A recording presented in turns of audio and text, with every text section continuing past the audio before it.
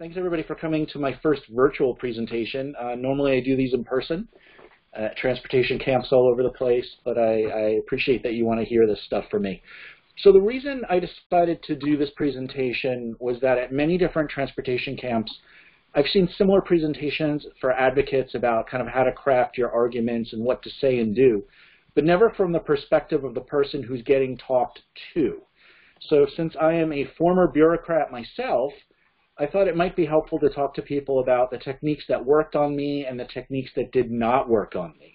Um, so my former bureaucrat life was spent with about 10 years at the New York City Taxi and Limousine Commission, um, which regulates all for hire transportation in New York City. It's one of the largest markets in the world, and over a million people a day use those regulated industries. Um, and feel free to add me, connect to me, contact me, what have you. Um, so the first thing I want to make sure that people understand is that policies are not handed down from on high. They are created by people. And because they're created by people, you have to influence people if you want anything to get done. So no matter how big and faceless a government agency looks, they are just composed of people like you and me with emotions and bosses and rivals and beliefs that really shape how they see the world. Um, so you need to get inside their heads a little bit to get anything done. One thing that frequently didn't work on me when I was a bureaucrat with some degree of control over policy is people who would show up and try and threaten or demand things of me. Um, that never worked because they lacked the power to punish me in any way.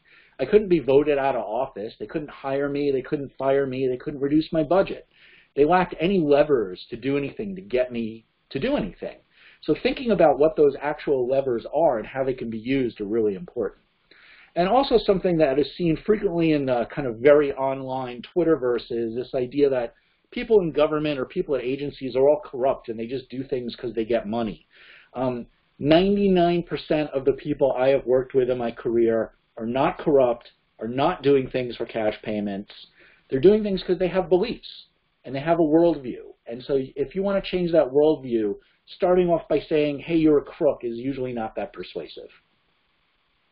If you want big policy changes in your community, you got to work with the system that we have. Um, doing a revolution is expensive and time consuming and requires a lot of guns, um, not the transit way of doing things. What you really want to do is get the agency or government on your side. You want them to listen to you and say, I like what that person has to say, and you want to make it easy for them to give you what you want. Um, frequently, people would approach me and ask for things that were not within my power to give or really, really heavy lifts for me to do. I had to say no. I only had so much time during the day. I only have so much energy. I only have so much clout within my own agency. But people who asked me to do things that were easy or wouldn't cause a lot of trouble, I would hand that out like candy at Halloween. So you need to show people that you can make the advocate happy without annoying everybody else, which is, I think, a concept that a lot of people who approached me did not internalize, that they are not the only constituency. So even if you know you're right and you know what you're doing is on the side of the angels, there are other people who have the bureaucrat's ear. So I thought I'd kind of give an example of how to handle something that happens very frequently, a public meeting, and four strategies that we can talk about that work pretty well at public meetings to get what you want. And so let's use SEPTA, um, because our hosts are Philadelphia, as the example agency. So they've called a hearing on something that you really care passionately about. It's either a really important issue to you or affects your life directly. How should we approach this issue? So strategy number one that I would suggest is using written testimony strategically. Um, every lobbyist I've ever dealt with in my entire career always, always has a detailed letter ready to hand me with bullet points and explanations about exactly what they want me to do. And it's shocking to me how many activists and lobbyists um, who come from more of the activism side of things don't do this simple step. Um, there are a lot of advantages to writing things down and presenting something ahead of the talk. Number one, you can circulate it in advance. So all the board members and people within the agency can see it and know what to expect when you actually show up at the meeting. The other advantage is that you can go into a lot more detail in a letter or a short presentation. And by letter, I mean no more than five pages because you don't want to hand people a book. Um, but frequently, especially with with in-person meetings that are very popular, testimony is usually limited to a couple of minutes at best. You can't cram in everything you want or need to say into two or three minutes, especially when you're being hustled in and out. If you've ever been to a big public meeting where there's 100 people lined up to speak, and that's happened, um, you're not going to be able to say very much. The other advantage is that you can hand exactly what you're handing to the agency to press, or you can post it online, so everyone sees the same thing and knows exactly what you're about. The second strategy I want to go into is you really need hey to... Hey Dave, uh, yep. sorry to jump in. I don't know if you're sharing your screen right now. We only see your screensaver. Oh, I am sharing my screen and okay. I don't have my screensaver. Give me a minute. What I'm going to do is turn my screensaver off because it's cool, but you probably don't want to see it. Sorry, it looks like we can see your desktop, but I'm, mm -hmm. but because we can see your cursor now, so I don't know if it's presenting on an, if it's trying to present on another screen. You know, I went I went full screen, and maybe that's causing a problem. Let me just make it big, and you can just look at my screen. Can you see it now? Can people see my desktop? Still, we it's still the desktop, unfortunately. But can you see can you see the slide on my desktop? No. Okay, something's wrong because it's not giving you a live shot of my desktop. Uh, if I'm wondering if I've actually never used this software before, I'm wondering if it's some of the some of these web tools require like they give you the option to only show certain things like the desktop or specific windows that's, to. That's what I did. I said desktop. I wonder if that blocks out. Yeah, so then it's probably only going to show you the desktop then. Might need oh, to. You're literally just seeing the desktop. Yeah. Okay. Give yeah. Me, give, me, give me one minute.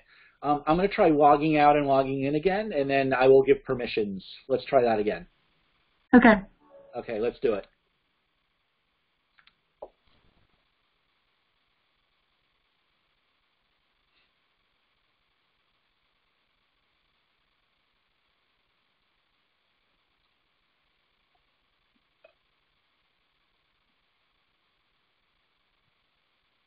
Thanks for catching that, Corey. I uh, I saw the I saw the desktop, and I assumed that the presentation was maybe he was just waiting for his his his presentation to ramp up, and it was going to be a big point. I can I can go through it without the presentation. This is not my first rodeo here. Um, I can I can just talk, and, and you can just look at me if that works better. It's uh, and I can email this to everyone who. Oh, wait a minute. How about now? Yes, that's working. All right. yes, we All can. Right. Yay. Thanks, everyone. Yay. Okay, so can everyone see the public hearing slide? Yeah. Yeah. Yeah. All right. Yep. So we did written testimony. Well, let me let me go through real quick first so you can see my pretty pictures. This is me and how to get in touch with me if you have follow-up questions or issues or you know just want to harsh me on Twitter or whatever. Um, but yeah, let's talk about a, a public meeting. Um, so yeah, so written testimony, and I didn't read the bullets exactly, um, but close enough. And then, so the second issue is the meeting is too late to start talking about things, right? So one thing to realize about any kind of government agency is that they already did a whip count before they called the public meeting. Um, they already know how the vote's going to go. You are not going to persuade them at the meeting with some passionate speech out of Footloose about how dancing is right, and all of a sudden they'll all change their minds. They already know how the vote goes. Um, so waiting for the meeting to make your persuasive case is way too late. I've been to, with just the Taxi and Limousine Commission, something like three or four dozen public meetings where an important vote was taking place. At exactly one of them, something happened at the meeting to make everybody go, hey, wait a minute, we can't take the vote today. Um, usually the only reason a vote is taken is because maybe they lose quorum or someone can't show up for the meeting, but you can't rely on that. You need to move as an advocate as soon as the meeting is announced. Um, that's when you have the opportunity to make your case and start talking to people. Um, not every board member will necessarily have a fixed opinion on an issue, especially if it's something new that's come up that's kind of outside their wheelhouse, that is your opportunity to lobby. Saying, hey, we're going to save our powder and show up in force at the meeting does not move votes. It just doesn't. I've never seen a vote move that way. Um, you can you can show up with a surprising number of people, and maybe you can show up with press if you're really skilled. But again, if you're someone like Nancy Pelosi or Mitch McConnell, where there's real stakes, you don't even call for a vote until you know what the count is. You don't even bother. So don't wait for the meeting. The third strategy is to think more about structural change, and that structural change gets you even more structural change. One thing I've noticed a lot when I was lobbied by advocates is that they cared a lot about the vote, but they never offered a strategy for who gets on the board, and I think this is backwards. Um, if you can get a supporter of your constituency on the board, or whoever makes the decisions, that's like winning hundreds, if not thousands, of individual votes. You need to focus more on winning the war not on an individual battle. And also, you need to realize that some people are on the board specifically to stop you. They're there to say no to you. So trying to persuade them through a speech or kind of your great logical argument will never work because they don't actually represent anyone who's responsible to you. And again, I think I'll use SEPTA as our example because it's a really perfect example of this. So let's look at who's actually on the SEPTA board that makes decisions. The suburban counties that surround Philadelphia, Delaware County, Montgomery County, Bucks County, and so on, get eight seats on the board, two in each county. The governor appoints one person. The Senate, state Senate, appoints two seats, one majority, one minority, same in the House. And the city of Philadelphia itself only gets two seats. So you have a permanent supermajority on the board that primarily serves core Philadelphia, the city itself, um, to stop Philadelphia from doing things. And at times, kind of before 2016, suburban counties were largely Republican. So you basically had a Republican supermajority governing the transit system of a city that voted 85% for Hillary Clinton. The system is not set up to help you. Um, thinking about redoing how the board works is something that's really, really, really worth your time how different would SEPTA's policies look if Philadelphia had half the seats or a majority of the seats? That's a really big change and really worth your time. The fourth basic strategy I like to suggest to people is to always find people inside the agency. Um, the party line for an agency, what they officially say, comes from someone like a commissioner or a president or a mayor or a governor, someone very high up who is not involved with line work, who is not involved with operations. That was made outside the agency, that decision. But every large organization has people like you in it. So some place like SEPTA or the MTA or Caltrans has lots of people who are very progressive and want to do what you want to do. They may not just be in power at the moment. You need to do everything you can to find who these people are, talk to them, and constantly give them data. They need to be on your mailing list. You need to really talk to them all the time. Bounce ideas off them. Tell them what you're doing. If they like what you're doing, give them free memberships to your organization. Build a constituency inside the agency because the analyst of today is the director of tomorrow. And this is something I've also found that people don't think about. I'll give an example. I had an intern when I worked at TLC. Now he's a very senior advisor to the Commissioner for Homeless Services in New York City. If you had met him and cultivated him when he was my intern, you would have known him for 10 years. Now when you ask him for a favor, he knows who you are, he understands who you are and what you're about, he agrees with you, and now he has power to do something about it. Transportation Camp is a great way to meet lots of people at junior levels, at large organizations, and at agencies who have long careers in this industry. And five years from now, 10 years from now, they'll have positions of power.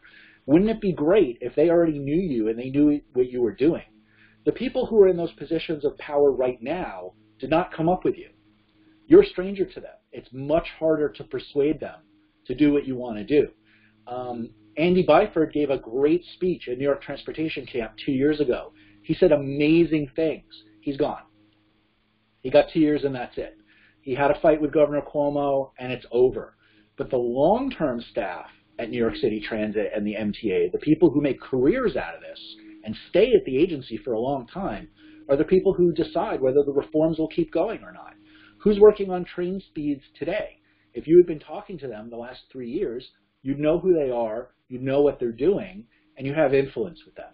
And those are the four basic principles that I wanted to go over, and I wanted to carve out some time for you guys to talk about What are some strategies that you have used? Have you tried these ideas? What are some roadblocks you run into? And if I can tell you any war stories from my own experience um, as a senior policy person, I'm happy to answer any questions. And that's it for the presentation.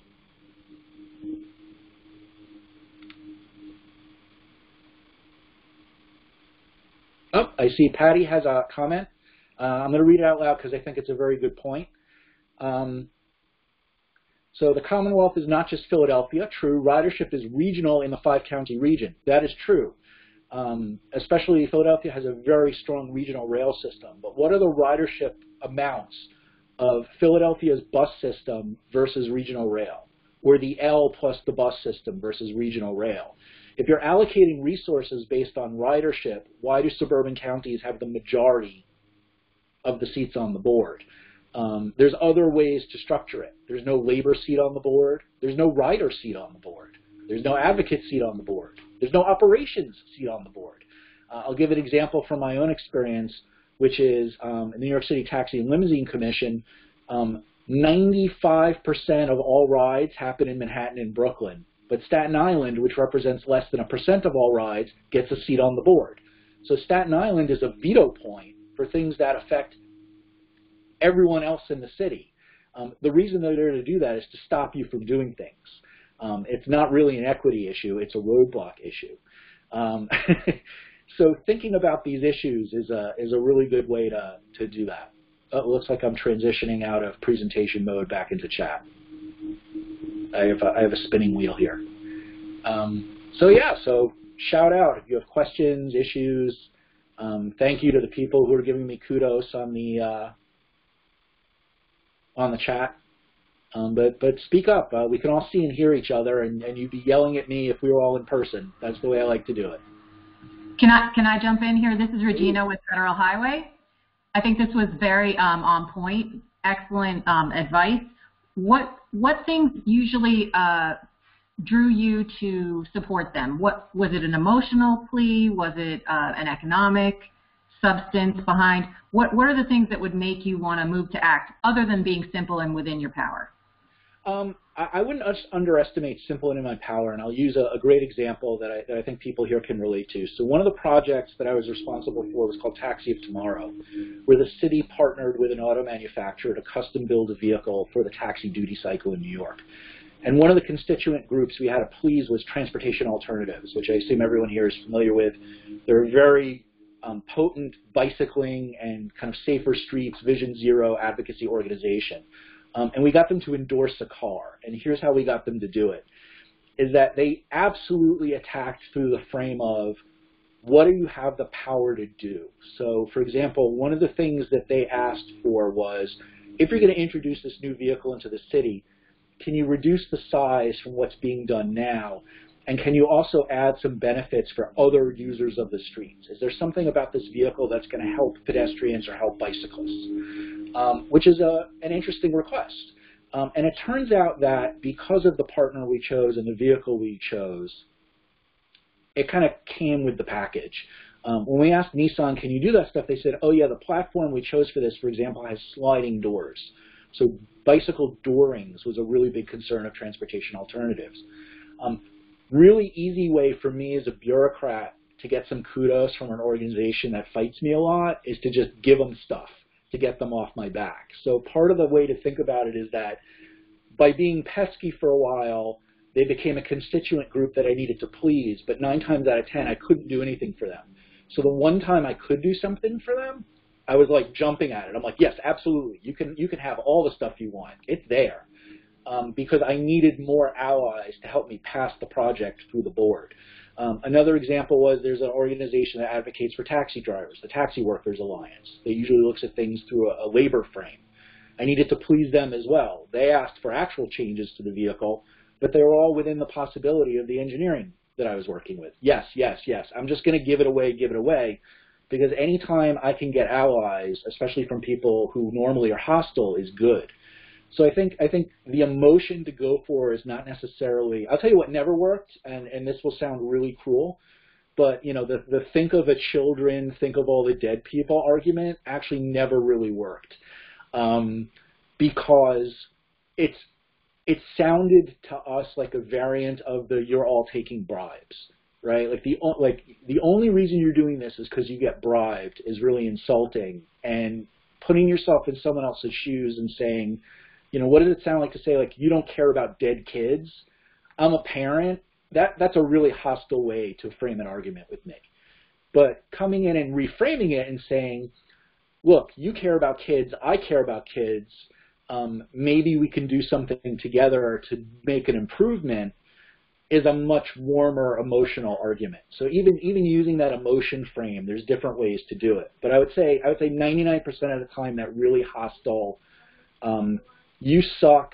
You're only doing this because you're a bad person. Never ever ever ever works, and it would never work on you. Like if I if I was gonna flip it and go to a bicycle advocate and go, you know, try and go like, oh, you know, you just like to run over grannies on the sidewalk with your bike, you'd flip out, right? Like you'd say, that's that's the worst thing I've ever heard. Of course not. Like I like active transit and it doesn't pollute and it's great. But that's the frame being used by your enemy. So I would say I would say emotional appeals will work if you frame the emotion the correct way. Um, but data, data, data is always number one because it's really hard to argue against facts. So if you show up and say, you know, hey, it's really important to put a bike rack, for example, on every bus, is an argument that's really winning for a lot of transit agencies because it's cheap. It doesn't cost a lot to retrofit all the buses. It's easy. It doesn't require advanced training or some kind of weird RFP to do. Lots of people use it, so there's not that it's just going to sit there and not do anything, and it's best practices everywhere else. So making those arguments are a really good strategic way to, to look at things. Great question. Can I follow up? That was excellent. Um, can I follow up with how, how do you get a seat at the table if you're just kind of a regular person? What's your best way to start getting um, that influence? Like, how, I agree with your approaches and that kind of the win-win, but like, how do you first get yourself in the door? Well, I think that's why find inside allies is your strongest move because everyone says, I want to have lunch with the chairman or I want to have a meeting with the decision maker and that person is busy and has a lot of constituents to talk to. But the you know the analyst in policy doesn't get invited out to lunch very often. And maybe they're a member of Young Professionals in Transportation and you met them at a happy hour. They love getting invited to stuff because they do not get invited to those advocacy meetings. Um, either their boss thinks they're too junior to do it or what have you, but they're the easiest people to convince, right? So if eh, you know, and again, in my agency, people who made friends with the people who actually, the junior level people who actually showed up to do on the street work, all of a sudden had advocates telling the directors and their bosses, why don't we invite Joe Blow? They seem to know a lot about the topic. Um, one thing we started when I ran the policy department was brown bag lunches, where we'd invite subject matter experts. So an advocate can be a subject matter expert we don't know anything about bicycles and Vision Zero. Can we get someone to come in? Great. So-and-so from Transportation Alternatives knows a lot about that. They're not looking for an honorarium. Can they come in and just have lunch with us? And then just invite anyone who wants to come in the agency. And that works in a big or a small place, right? Like, I've been to meetings at federal DOT. That's a monster organization. That's a huge building, right? But saying, posting signs that say, hey, we're having a, like a quasi happy hour, hey, lunch with the expert, is a great way to get people. And maybe the senior person will drop by or maybe they won't. But it allows you as an advocate to incorporate a lot of your key talking points into the way of thinking. Kind of the other great thing about junior analysts is, and if you're a junior analyst, this is the part where you cover your ears, guys, if you're on this conversation, is that a lot of your ideas have not been fully formed yet. You're new. You're learning about how all the system works. And so an advocate who comes to you and says, I'm going to help teach you about how this works, is going to have an influence on how you view the world. And that's not necessarily a bad thing. If the advocate is honest, they're presenting factual information, they're a resource. They're a tool you can go to to say, hey, I'm trying to do X, Y, or Z. This person's an expert. It's not my background. I'll bring them in. And that's a way, again, to build that influence. There are people I talk to now. Um, I mean, I started out fairly senior at my organization, but I moved up, right? People move up in their careers. Um, reaching out and not always mono-focusing on, well, I'm, I just want to talk to the top person. Um, think of it at the White House. Like, like, yeah, you can get a meeting with Donald Trump, but it's better to go on Fox and Friends.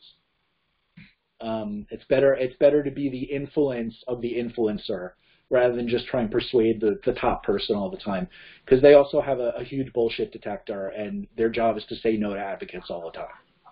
They they don't make a lot of friends by saying yes. These are really good questions. All right. Any anybody else got uh, two cents on this or? Um, hey David. Yeah. So I actually I wanted to ask you a question from the perspective of a junior analyst, and that how can a junior analyst actually influence policy? Because as junior analysts, like we are passionate and we we are just out of school and we have all these ideas that we learned in the school and stuff like that. But then you kind of, as you said, you know, like we don't know how the system works and stuff like that.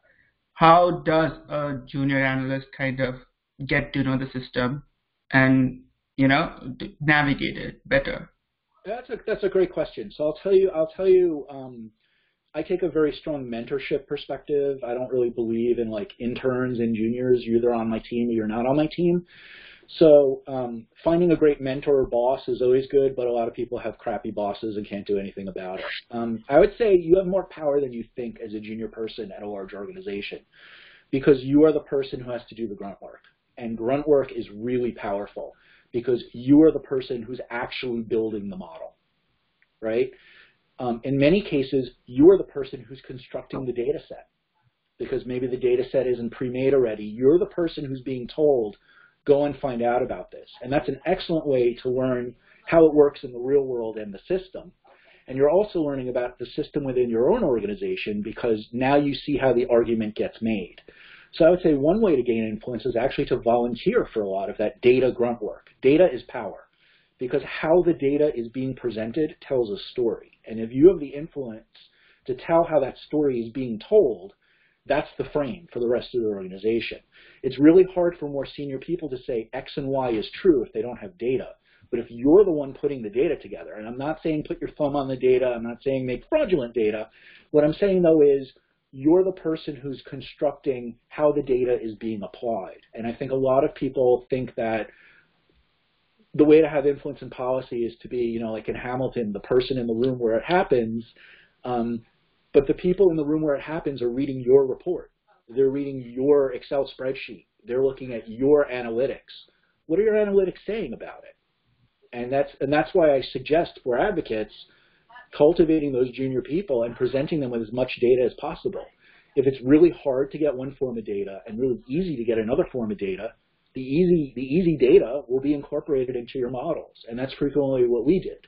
Um, frequently, my juniors would come to me and say, "Hey, I found something really interesting in the data. Do you want to take a look at that?" And I'm like, "Yeah, show me." And they would make a make an argument, and I would put that in the back of my head, and you never know when it pops up. Sometimes it wouldn't be useful, but other times there'd be a meeting, or I'd be in a very senior meeting, and I'd say, uh, "Guys, did you know X, Y, and Z?" I only knew that because my junior came to me and said, I found something. So spending extra time combing through the data, looking for relationships, looking for things that other people have missed is not just a great way to get a promotion, it's a great way to get more influence in your organization because you then become the expert. And being an internal expert in something makes you way more valuable. That's amazing. Thank you. Sure. Hi, this is Nina. I'd like to jump in on that since um, I've worked internally in government as a systems analyst for 12 years. And uh, I think all of those points are great and stuff that I've had to learn as I moved uh, through my career as an analyst. Um, and like I was lucky to have uh, good bosses that would listen to me, even though like I was kind of insecure about presenting anything. But it got to a point where when I did see kind of this like synergy, like, oh, here's a great opportunity, we could really benefit from it. Like, what I ended up doing was putting together a proposal with my understanding of what my boss's needs and wants were and what would drive them, and then presenting that proposal to them and trying to convince them in that way. And sometimes, like, I'd be off the mark with, like, what I thought would be motivating to them didn't line up with like how they needed to respond to their executive or what they needed to consider. But like by doing and getting that experience, you can start to get an idea of what is driving these people, how to frame your argument and present it in a way that addresses those needs and makes it easy for them to be like, oh yeah, that's a great idea, we should do this. And I have actually managed to convince my bosses who like were originally opposed uh, to this one idea, and I managed to convince them to sign on to my um, proposal because of it.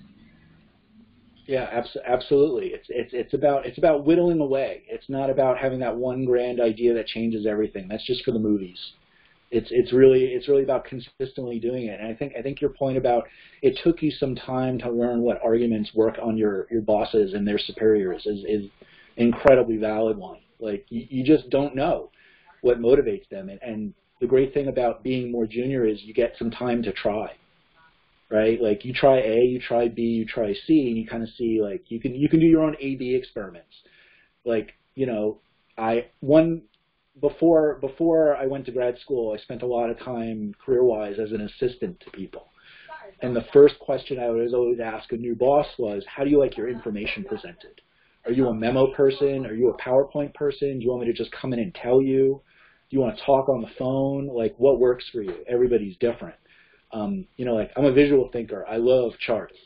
You, you show up with like a graph or a chart, I'm super excited. Other people want to see the actual raw data themselves. Like learning that argument is so important. And and that's again, being the guy who actually has to put together the presentation gives you the ability to experiment quite a bit and kind of kind of figure that out. Yeah, those are those are terrific points.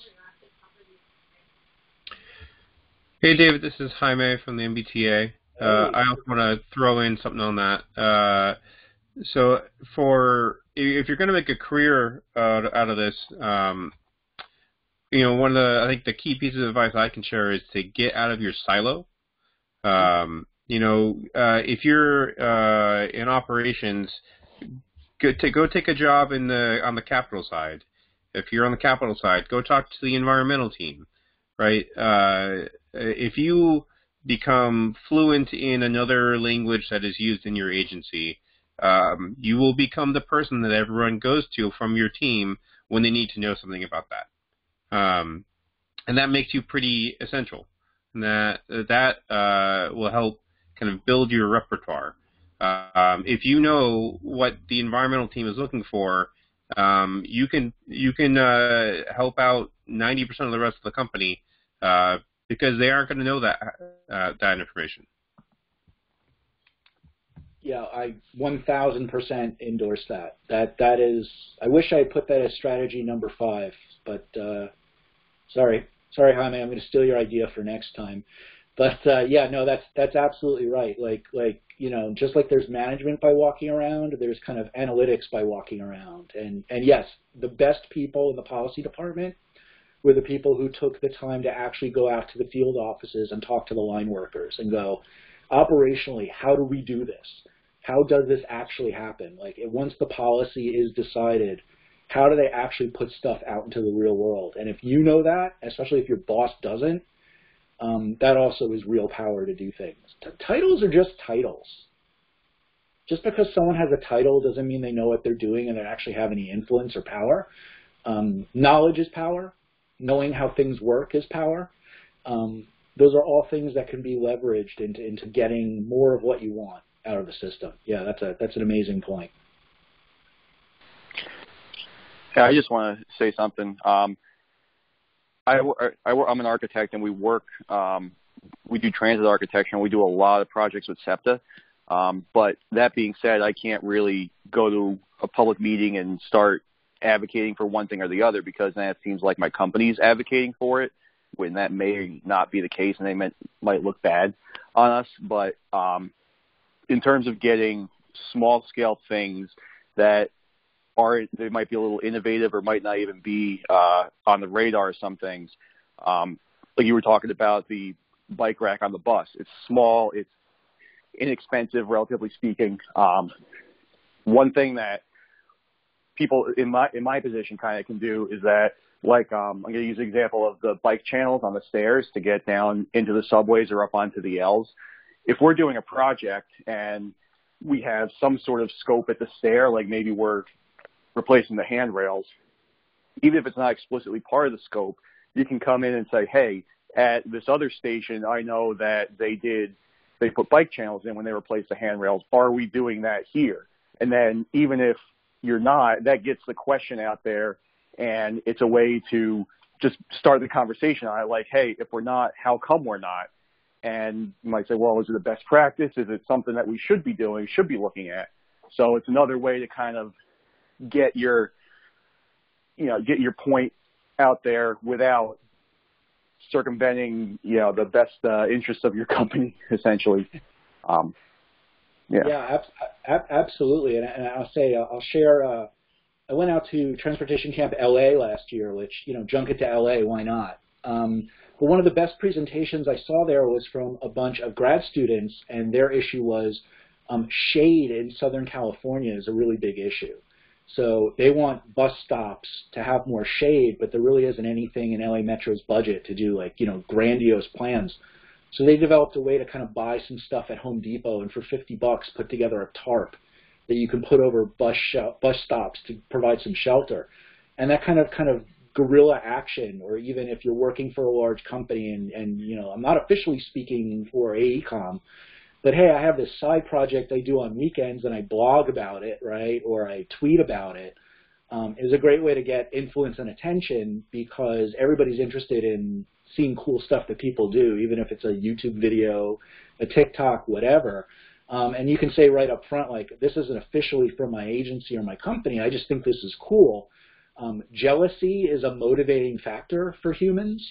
Um, you know, speaking as a someone very experienced in New York City government, the best way to get New York City to do something is to point out that other smaller cities are doing it and New York can't. Um, going like, hey, how come Philadelphia has this but New York doesn't? Enrages them. They flip out and all of a sudden go, why, why, why does this inferior city have this thing and we don't? Um, other cities can be motivated by that, and that works for organizations too. So kind of saying like, hey, I figured out this great thing and like I sell it on the weekends or I do it or I have a club or a meetup that does this or you could do it through an existing organization, um, you know, women in transportation, young professionals in transportation um, is, a, is a great way to do it. And I think that's a, that's a great point. And, and I like the fact that you brought up the issue of bike channels, which is another example of something doable, right? Like you're not, you're not adding a billion dollars to the station budget by putting a little modification of how you're doing concrete on a staircase. It may add nothing or it's marginal. And so little by little you can add those things up to something that's a bigger project. And I, and I think that's the, um, the other strategy five that kind of got cut for time, which is abandon an all or nothing perspective. Um, go, always go for like a lot of marginal changes in a row, and eventually, before you know it, um, you know, in politics, the term is shifting the Overton window, right? Like you, you keep asking for more and more progressive stuff, and all of a sudden it's super mainstream, right? It's the same way. You say, all right, like station design, like okay, there should be bus bulbs. Okay, there should be bike channels. Okay, now there should be bike lockers. But if you go in and say this needs to be completely redesigned at a cost of $50 million, it gives people a lot of reasons to say no. And, and again, if you're if you're going for that argument, it's really easy to make you happy. Then it's easy to do, and, and it makes you go away without without too much extra effort. Are we, are we at time yet? Or? I'm happy to keep talking, but I don't want to keep you guys from other sessions. Hey everyone, we have a couple minutes left uh, before the next session. Does anyone have any final questions for David? Still don't have enough evidence, but we have some evidence. I think we have significant. Someone else talking that's not in our chat? Maybe.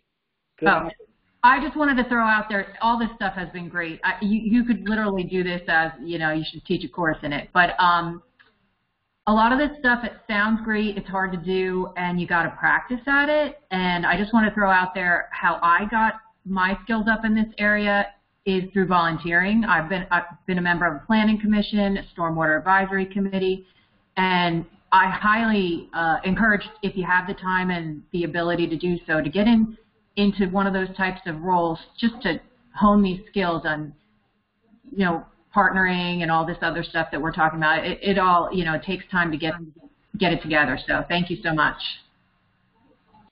Thank you, and thank you everybody for coming and listening to me talk about this. Uh, you know, email me, let me know if you want a copy of the presentation. Uh, you know, you can add me on LinkedIn, add me on Twitter, and uh, see a Transportation Camp around. Um, but I'm not going to be at the dog lunch because my dog will absolutely lose his mind if he sees a dog on the screen.